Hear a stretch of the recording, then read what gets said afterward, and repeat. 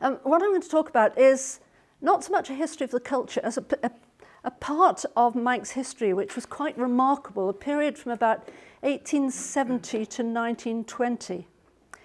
And I got, I've been interested in it for a long time, thinking about the antiquarian interest in the island, which dates back, some of the earliest antiquarians were busily working in the 1700s, sort of the early 1700s. They started collecting folklore.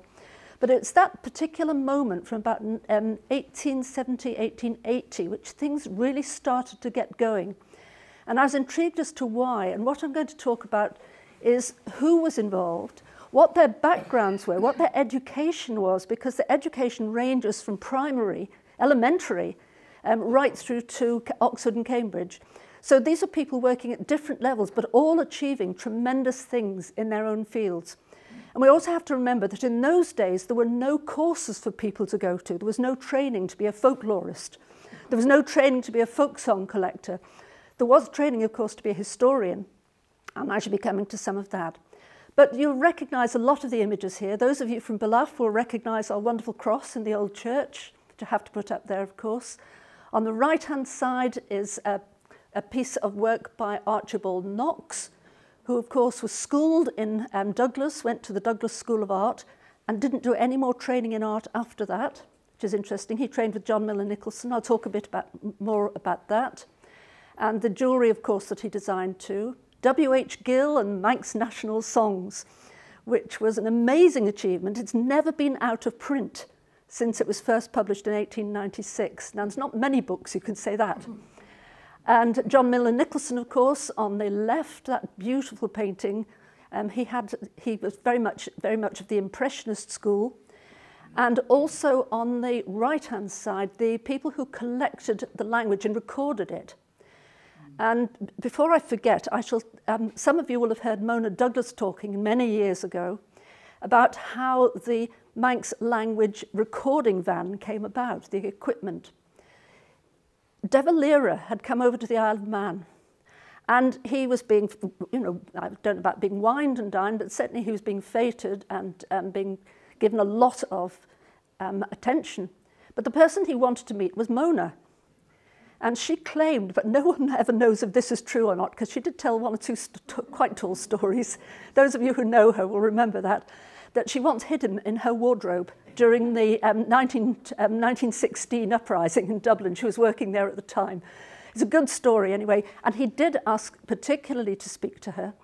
And then they were talking about the language and she said, of course, it needs to be recorded. He said, we'll send our equipment over for you to, to use.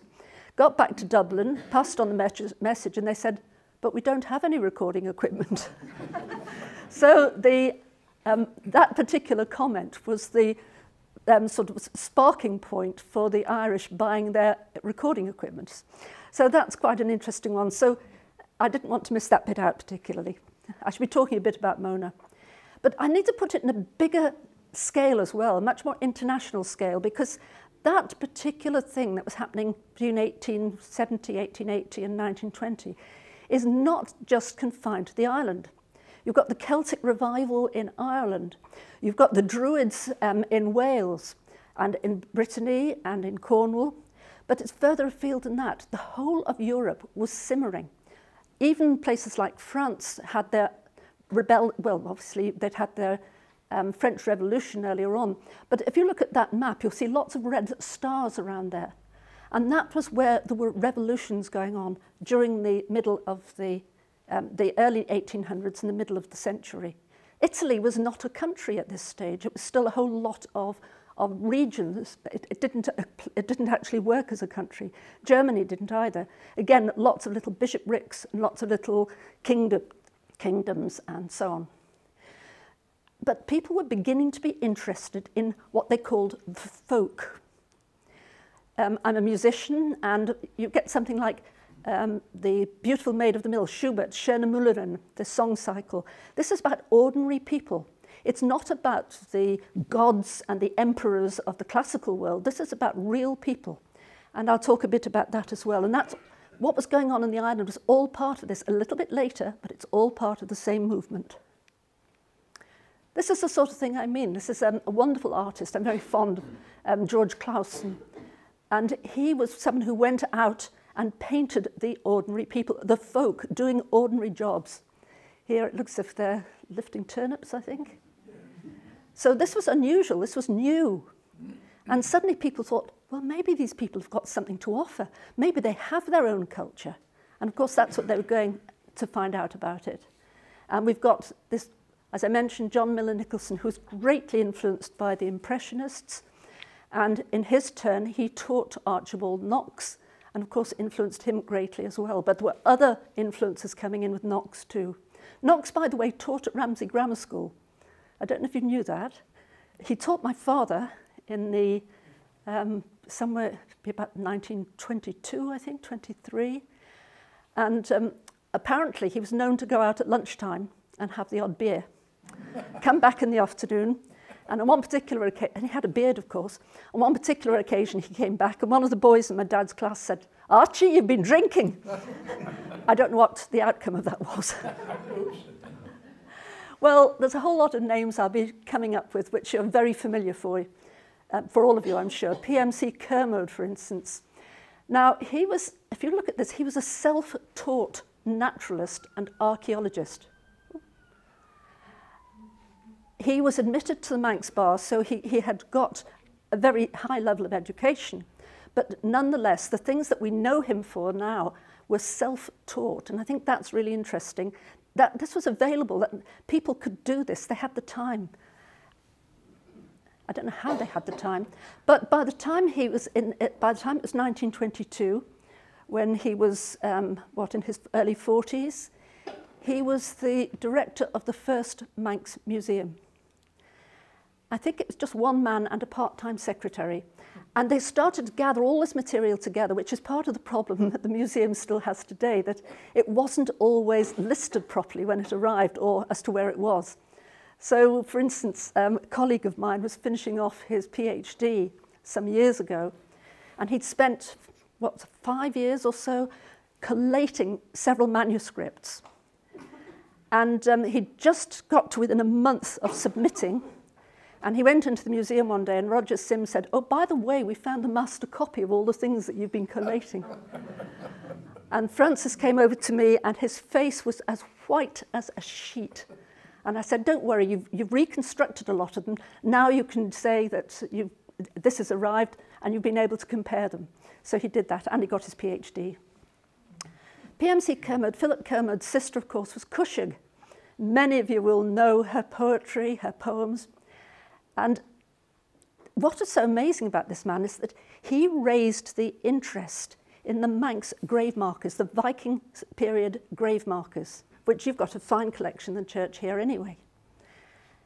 What people didn't realise until then was that the collection of such markers is the best in the world apart from Norway itself. And that's something we need to beat the drum a little bit more about, I think, because we tend to think that you know, other people must have these. They do, but not as many and not as high a quality. So that's worth thinking about. And of course, he was given a very important award by the Norwegians too. He was also a very fine draftsman. He published this book, Manx Cross, as Some of you, I'm sure, have got maybe an original edition, or perhaps I have a, a copy of it. I have an original one and a copy. I never use the original one. I only use the copy. But um, it, it was a remarkable piece of work, um, listing the crosses that exist in the island. I've lost count of them now because they keep finding them, and um, which is very exciting. I think you found one in Kirkmichael not so long ago. Is that right? I shan't say anything very much about that at the moment. The much, the much Roy Penn. Yeah, exactly, yes. And then, of course, Archie Knox himself, big international figure today. His work is going for tens of thousands in many cases. And um, I remember when I was working in Birmingham in the 1970s, a lot of the things that he made, the Tudric ware, the Cymric ware, that, all that beautiful pewter and silverware, was actually made, manufactured in Birmingham.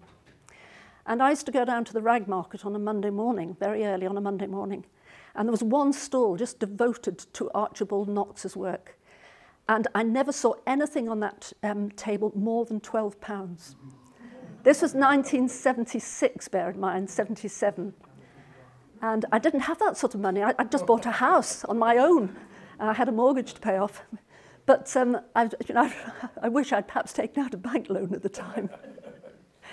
Anyway, as I mentioned, he studied under John Miller Nicholson at the Douglas School of Art, and that's the level of his, his art education. He didn't go to the Slade, he didn't go to any of the, the places in London that you might expect him to.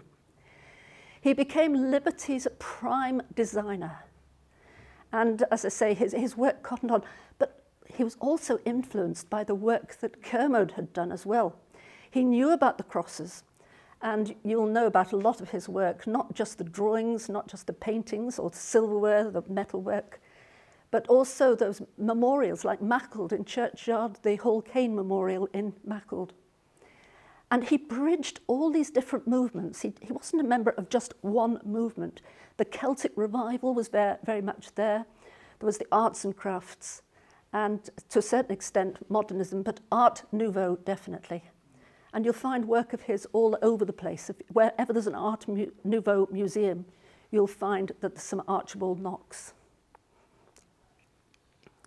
Now, I've put this up. This is one of his great works, something called um, this St. Patrick's breastplate.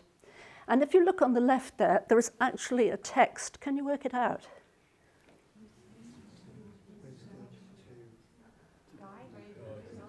That's right, God's wisdom to guide me. Well done. Takes a little bit of working out, but there you are. But it's that delicacy, that interlacing, the colours, very typical of Archie Knox. And on the right-hand side is a photograph I took in a little tiny settlement in western Norway called Urnes. And it's, a, it's, a, it's taller than I am, that particular piece of wood carving. And it dates back to about the um, ninth, uh, sorry, the 10th or the 11th century. And it's that sort of delicacy. If you look at the detail of it, there's actually a deer there. This is the deer's cry. And you, can you see there's a deer? Um, on the bottom of the image, bottom left, you can see its hind legs. Hind legs go up into the body, and then the, the four legs go up onto a very long neck. Round its neck, a snake some sort of serpent has got its jaws, but the deer has also got its jaws around the serpent as well. It's all, but, but the delicacy of that, the carving is absolutely exquisite. And that's something that Knox has picked up on. So he's bringing international influence as well, not just the Manx stones.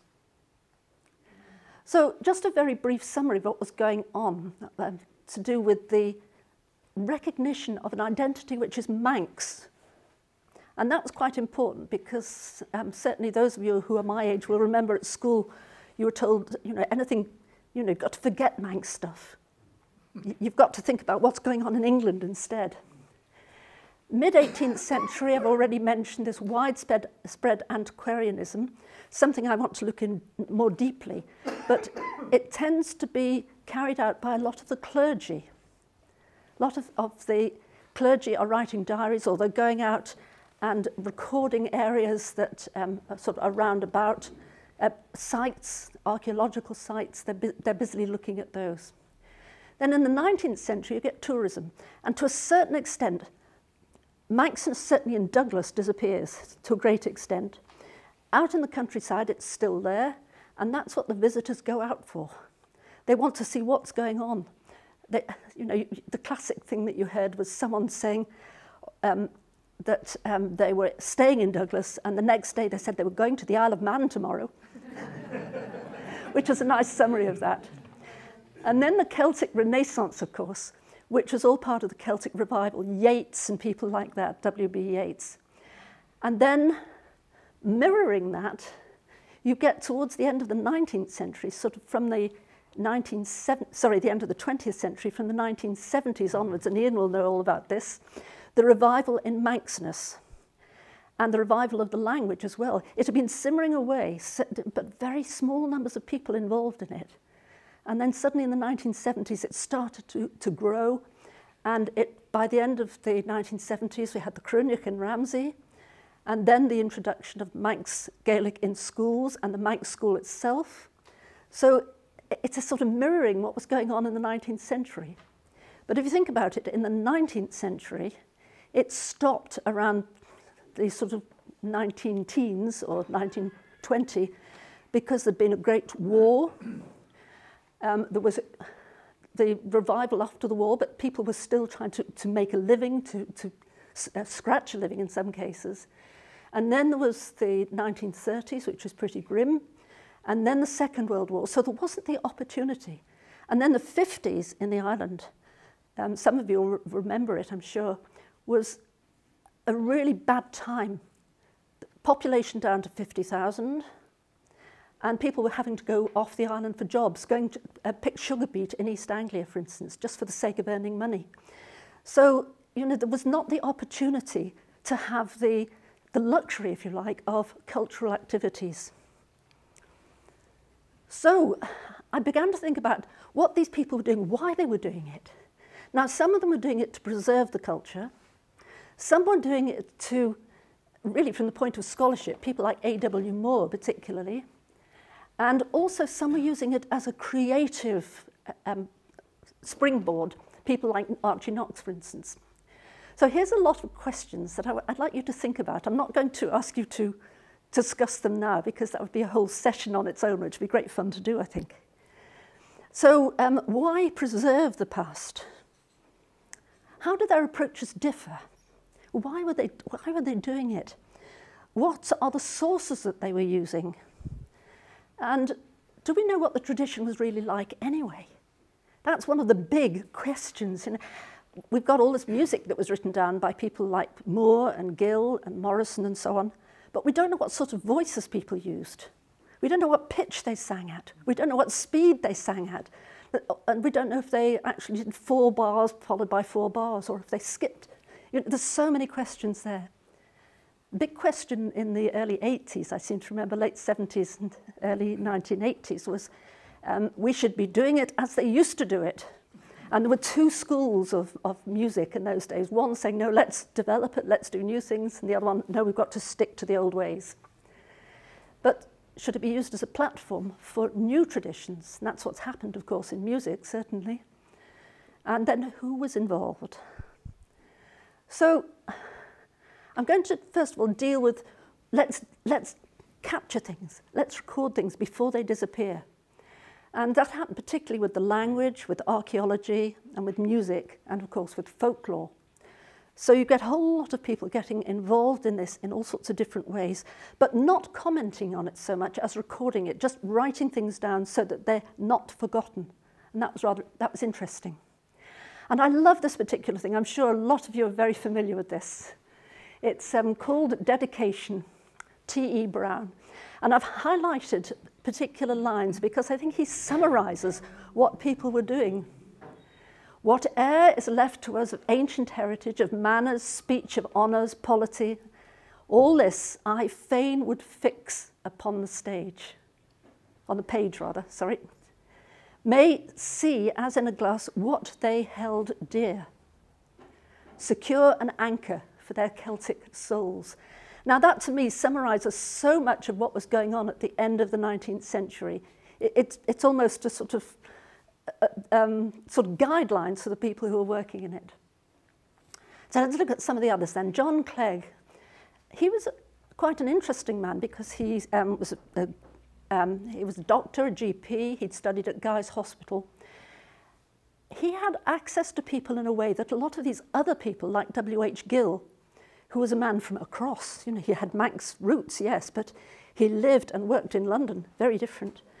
Dr. Clague would go into people's houses. They would trust him. He was their doctor. He could talk to them in a way that some of these other people couldn't. And he was particularly important in the collecting of folklore and music.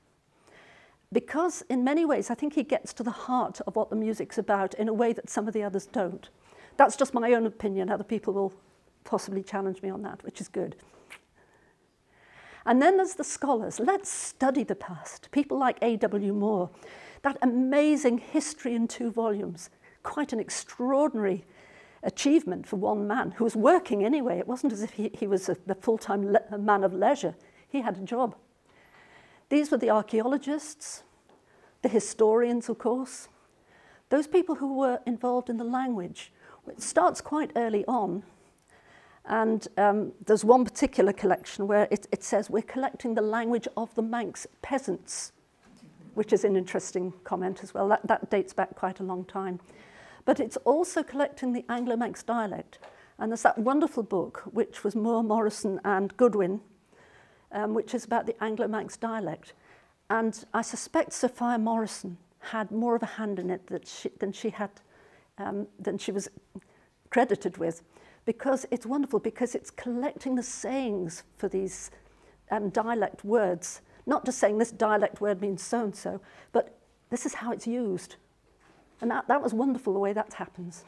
And then, of course, the music, which I talked a little bit about, and I shall probably not talk too much about until I get to Gill. Look at this. This is the one I mentioned.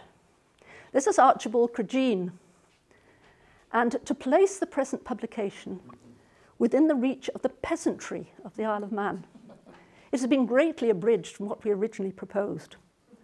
Now, whether that was from cost or whether it was actually because they felt it might not, people might not appreciate it, I don't know. But that's an intriguing comment. I don't know if some of you may have ideas about that. But A.W. Moore, look at his dates, 1853 to 1909. Um, his interesting um, schooling, Douglas Prep School, and then rugby, and then Cambridge. He was Speaker of the House of Keys, and he made collections of, you name it, almost. He was quite an extraordinary man. Music, of course. His music was published, Manx Ballads and... Ballads and Music. Ballads and Music, that's it, there's Ballads and Music. Manx Ballads and Music left me for a moment. That was published the same year as W.H. Gill's book. But it didn't go into a second, publica a second uh, edition until fairly recently. And it sort of fell out of use. I'll talk about that when we get to Gill. He also collected the Anglo-Manx dialect, of course, and the history of the Isle of Man in two volumes, which is still an amazing publication over 100 years later. But also, look at all these others. There we are, Manx ballads and music, vocabulary of the Anglo-Manx dialect, folklore, and the History of the Isle of Man. Amazing publications, all absolutely standard and central to everything that was being done at the time. Another man, J.J. Kneen, um, he, was given, he was awarded an honorary degree from Liverpool for the work that he did. Interestingly, his work was supported by grants from Tynwald. Now, this is very far-sighted to Tynwald when you think when he was working, when he was, he was doing this sort of post, post First World War, that he was actually getting grants to be able to do the work. And that is amazing. It was happening in places like Norway, where they were giving grants to people who were researchers and musicians and artists. But it doesn't always happen in the Isle of Man. It does now, of course. Thankfully, we have wonderful sources of funding for people. He was a founding member of the Manx Language Society, Cheshaght Ghailckagh, and he also was involved in the place names of the Isle of Man, which is, again, six volumes, each, well, six mini volumes, if you like. Each sheading has got its own collection. And um, a language pr uh, primer, plays in dialect, plays in Manx. And he was awarded the Royal Norwegian Order of St. Olaf, which for his work, um, particularly with people like Marstrander, who was one of the great Norwegian linguists at the time. Don't know, do any of you recognize anyone on this photograph? I think on the left, is it Bill Radcliffe? And I'm not sure who the one um, behind the vehicle is. Anybody have any ideas? I've been trying to work it out, but I couldn't. Anyway, two men, both Manx speakers, one from the north of the island, one from the south. They brought them together, and they had a job, in a way, understanding each other because they spoke very different dialects. The northern and the south, southern dialects were quite different. So that was, that was an interesting one. That was um, the old Gow, Mr. Kneen, the blacksmith from Ballaugh on the left there, the one with the white beard. Right, and then these people who are building on what exists. Let's take what we've got. Let's make it, bring it up to date, make it something different. And that applies particularly to literature and to the visual arts and, of course, to music talked a lot about music. I won't talk too much about that now. But I do want to talk about W.H. Gill very briefly because he was born in Sicily.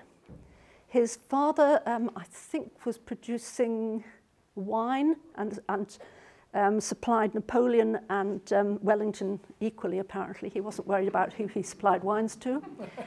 Um, he was educated, and this is an interesting one because King William's College becomes a hotbed for Manxness. A.W. Um, Dr. Clague went there, and the two Gill brothers, W.H. Gill and his brother. Now, Gill himself worked in London in the seals office of the Central Post Office. He used to come to the island in his summer holidays and he would walk around miles and miles and miles. He got to be quite well known and well known enough for people to hail him in Parliament Street and say, Hey, Mr. Gill, I've got another tune for you. So he, he, he managed to get through to people and he, he was, what he did was quite extraordinary. There had been publications of the folk songs of England, of Ireland, of Wales and of Scotland. And he did one which was the folk songs of the Isle of Man. They were, he changed the tunes around, he gave them different names, he gave them English words, he took a tune which might have words which were a bit sort of risque, and he gave them words which were all right to be sung in a parlour, in the front parlour. And that was why that book sold so well. I was brought up on it, I'm sure. I think Marilyn was probably brought up on it too. Certainly I was brought up on it. And um, at one point I knew every song in the book. I'm not sure I remember them all now, but at one point I did. And um, that gave me the taste for a lot of other things in, in terms of the music. I want to talk a little bit about the tune of Mylecharaine. Some of you might have heard a bit of this story before, but I think it is fascinating. Mylecharaine is a tune which has two versions, a major version which is quite jolly and a minor version which is a very sad ballad. Mylecharaine's march is in 3-4 time. Now, anyone who knows anything about music will know marches are usually in 4-4. Otherwise, you're doing one, two, three, one, two, sort of waltzing along rather than marching. But um, it was a tune which became very popular and it was sung at all sorts of occasions. It was used as a, a tune when there were great dinners and there would be sort of a dozen toasts be made and there was always Mylecharaine was played when they toasted the Legislative Council or the Manx Legislature. So it, it had that connection. And there's a wonderful story by Canon Quine who wrote, and I'm convinced it was about Kirkmichael, where there was um, a, uh, an evening do and they'd had their, they'd had their um, food, and then the tables were cleared away and the band started playing. Now, Ian will know that when you're playing that sort of thing, you usually start off with something quite bright, lively, get people going. No, they played the minor version of Mylecharaine. And the women wept, wept openly and the men pretended not to be moved. Now, there's something more to this song. That's what gave me the starting point. This is Mylecharaine's Cross, the one that um, was found. And if you remember, Lady New had a copy of it made and she wore it whenever she was on duty. Mid-19th century text for Mylecharaine.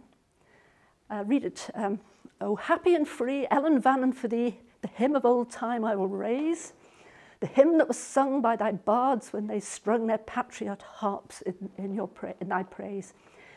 And so it goes on like this. It's very, very sort of Victorian. And, but it was interesting that it was written to that tune. Yes, Mylecharaine, since Orry the Dane, hard masters have kings been to thee, but under the queen, Ellan Vannin is seen the happiest child of the sea. Right, that's, but what was the meaning of it? The meaning is that Mylecharaine was a miser. He, had a, he was widowed, he had a daughter who by this time was getting a little bit sort of elderly to marry, and he, was, um, he didn't really want her to marry anyway, but she did. And she found herself a husband, and um, because she was of a certain age, he had to pay the very first dowry that was ever paid in the Isle of Man. So he was cursed for that. But his treasure, it said, he did have treasure, but it was under the ground. It was buried in the ground. Now, is that saying that it was buried as part of the island's culture, part of its history? Or was it actual treasure like Mylecharaine's cross? Who knows?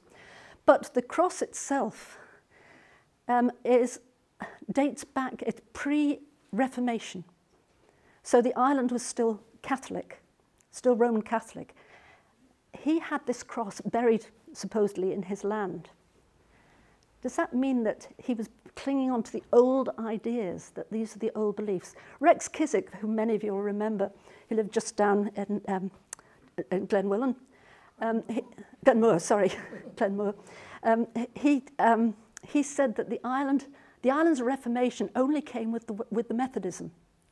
That's an interesting comment, and I think it's, he wrote a very interesting pamphlet on it, which I can never find my copy, unfortunately. And this is, Mollycha was used as a sort of synonym for the Manx people, like John Bull is used for the English. And here we've got, um, don't vote for Anderson. This is a, a wonderful, you don't get this sort of thing nowadays. Um, this is addressed to Mr. Mylecharaine of Ballymacmoor in the sheading of Ayre. Now, there's no such place, but it, this is the sort of, the, the, this is the Manxman, that, and it's signed Kelly, but it's wonderful reasons why you shouldn't um, vote for him. One of them is that um, uh, it's, one, it's all about income tax anyway, and it, it, it's saying who can afford to, oh, I, I, I, it's, it's another thing I can deal with another time, I think, I won't. But then comes the time when W.H. Gill publishes it in Manx songs, Manx national songs. And he puts it to words, and it's sung, as it always was at the end of Guild Week. A new arrangement of something was put on the back of the programme, and the audience would sing it, sight sing it in four parts. I think it should be reintroduced. Did you not think so? Be an idea. And the governor at the time was not very popular, but the governor's wife said, well, I think this is wonderful. Why not adopt it as the Manx anthem? And that's how it came about. Right, Sophia Morrison. This is a remarkable lady, quite extraordinary. Um, she was, um, again, a collector of stories, of songs, and of the Anglo-Manx dialect that I mentioned. But look, she didn't do, her education was Peel clothworkers. She didn't go on to um, any sort of higher education at all or any further education. But the, the works that she did and some of the songs she collected and the stories she collected with them are quite extraordinary. And I think probably not well known enough, which I think is a pity. She was a huge influence, of course, on Mona Douglas. And here we have a lovely portrait of the young Mona. She was, had homeschooling. She was too frail, too fragile as a child to go to school, would you believe? Her parents lived in the Wirral.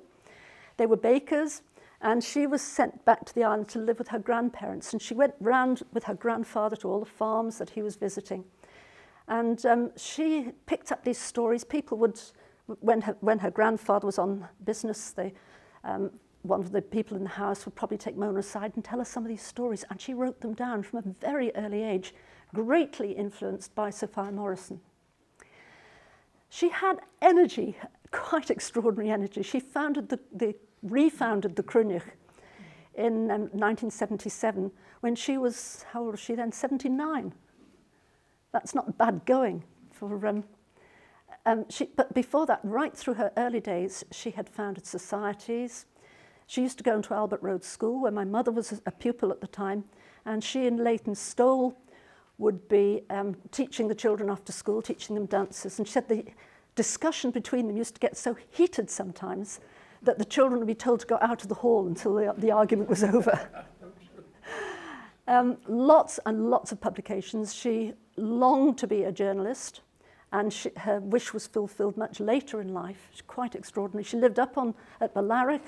She had a, a small holding up there, and she would deal with all the, the farm work before she went into the examiner office on the tram in the morning. She was alarming if you ever saw her driving because she had a mini. She was a very, very tiny person, about that high, and all you could see was the top of her head. it looked like a driverless car. She was made a member of the Gorsedd of Bards. This is the Eisteddfod, the, the Welsh national Eisteddfod, not the international one, in 1917 when she was still in her teens. She was a poet. And she was at the 1917 Gorsedd, which was held in Birkenhead.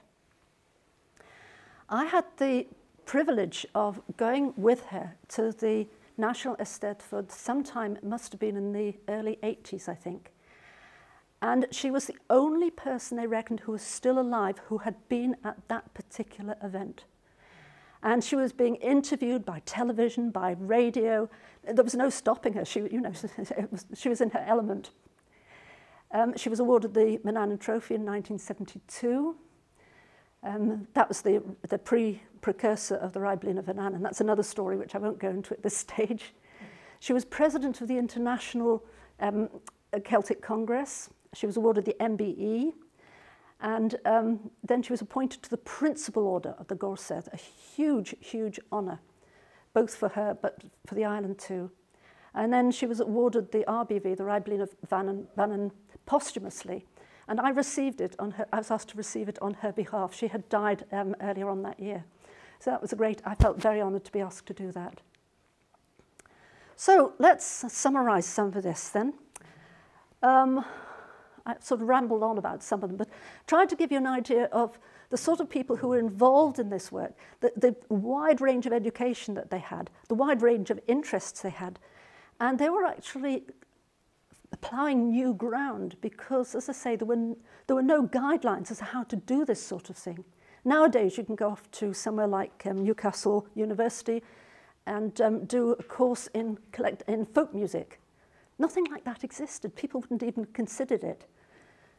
I remember I was, um, when I was doing my, my A-levels, I, um, I was at school at Oxford. My parents had, had moved across by that time. They, and um, I was asked to write some sort of extended essay. And I said I wanted to do something on the music of the Isle of Man. And my teacher said, but there isn't any. I, I just wish she was still around and I could say, yes, there is. so let's see how these people were working then. We've got those people who were preserving what was there. People like Archie, um, Archibald Cregeen, the man who's preserving it for the Manx peasantry, um, and Dr. Clague. You know, he was a busy man. He didn't have time to do very much, but what he did was quite amazing. And then people who were scholars, people like J.J. Kneen, A.W. Moore, and the history uh, of the Isle of Man. His folklore of the Isle of Man is quite extraordinary as well. Um, PMC Kermode, of course, we mentioned. And then the creative people, the people like um, T.E. Brown, who was building on his understanding of what Manxness was. And that wonderful poem, The Dedication, which I think is, is absolutely, it, it's a wonderful summary of what a lot of them were trying to do. W.H. Gill, King William's College again, um, Miller Nicholson, Sophia Morrison, Archie Knox, Mona Douglas, and I didn't mention Hall Caine. Now, Hall Caine, I don't know how many of you, I've got a whole lot of his books on my shelves. I haven't read all of them. I love The Deemster and The Manxman, and that's about it, I think. I haven't read any of the others for a long time. But at his height, he was one of the most popular authors that there was in the world. His books were translated into dozens of languages. And he wrote a book called The Little Man Island. Have any of you come across it? And it's really the most wonderful tourist um, weapon. And people came over to see the places where his stories were set.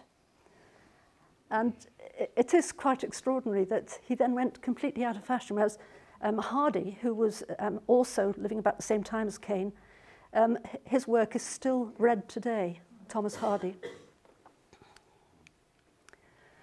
So let's think about what they were doing. They were, they were very conscious that there was something in the island which was not English, Irish, Scottish or Welsh. It was something very separate. And of course, the island is a mixture of so many of these different in influences. Um, it used to be that, um, certainly in the early days of the Chruinnaght, we looked to Ireland for a lot of influence, for a lot of, of ideas. But the more I went into it, the more I realised that we actually should be looking more at Scotland, Scotland's history and Scotland's music as well. It was individually driven. It, the, the, there was the Antiquarian Society, um, which many of you will be, belong to, I'm sure, But generally speaking, these are people who are working on their own individually, mainly because they, they, they were no doubt meeting each other, they were talking, they were uh, discussing what they were doing, but they went off and did their own thing. There was no planning. Uh, I did a lot of work on what was going on in Norway at the time. What was going on in Norway was very interesting because it's all happening at the same time. Have we got time if I talk a little bit about that? Yes, yeah, just. Um, Norway, it's hard to believe now, but in the 19th century, Norway was a little bit of land tucked up on the you know, north of Europe somewhere, which no one went to. It was, it was one of the poor nations of Europe. Now it's got one of the largest sovereign wealth funds in the world. But um, they, people like Frederick Nansen, Fridtjof Nansen, the great explorer, the, the polar explorer, he wanted Norway to get into the, the limelight a bit more. And there was a group of people who got together in Oslo, which was then called Christiania, showing that still the Danish influence. And it was still part of Denmark, uh, well, it's part of Sweden at that point. And he said, we've got to have our own independence again. We've got to create it, we've got to do it. And how are we going to do it? We're going to look at the things that we're really good at. We're good at polar exploration. So let's put money into that. We're good at um, archaeology. We're good at Vikings. Let's put money into excavations and, and studying what the Vikings, what the great period was like, the sagas and so on. We're good at art. Let's give artists funding to do their work. Let's literature. Think of um, Ibsen, for instance. We've got Munch, Ibsen, Edvard Grieg, know, some of the great names at the time. And the government put money into it, rather like they had done um, with J.J. Kneen. They supported him with, with um, finance, with funding. But generally, it's not something that's organised on the island. It happens. It, it's not planned. It's generally fairly political, though um, not political in the party political sense, but political in the sense of saying that this is not the same as other places. I'm not quite sure I've put that together very well, but you know what I mean? It's, it's not... Um, it's not driven like the Irish politics was. This was very different. It was keeping heads below the, the parapet, so to speak. Um, Caine, I've mentioned, was an international author, and Knox is now internationally recognized. It's been, it's an interesting story. As I say, it died out um, after the Second World War, or at least it, it didn't die out, it simmered down, and it just sort of bubbled under the surface for quite a long time. Mona Douglas was quite amazing because she never gave up. You know, people laughed at her. And um, they said, oh, you know, it's, it's a waste of time doing this sort of thing. But she persevered. And it was people like Mona who persevered. Sophia Morrison had died young, which was very sad. But other people were still doing things, the people who were collecting the language. They were all working quietly away, but very little money to support them and, and very little time because most of them were working full time. So that then is a little bit, just a sort of summary of some of the ideas that I've been working on for some time now to see how the, all these figures fit together. The variety of education from Sophia Morrison and her elementary education, Peel Clothworker School, right up to someone like um, Moore, who went to Cambridge, rugby and Cambridge. You've, you've got the whole range of interests covering whole you've got the creative writing of, of um, T.E. Brown and Hall Caine. You've got other people like Sophia Morrison collecting folk, folk stories and more as well collecting folk stories. You've got the artists who were, there, there was, up to that time, there was very little Manx art as such. But the Douglas School of Art was amazing because John Miller Nicholson really got people going on a Manx style of art. And I don't think enough work has been done on that. I'd like to see more work being done on that. oh, there's so much to do and not enough time to do it all. so maybe I've just tossed out one or two ideas for you know, little pieces of research that can all come together, which makes it exciting. I think I'll finish on that note.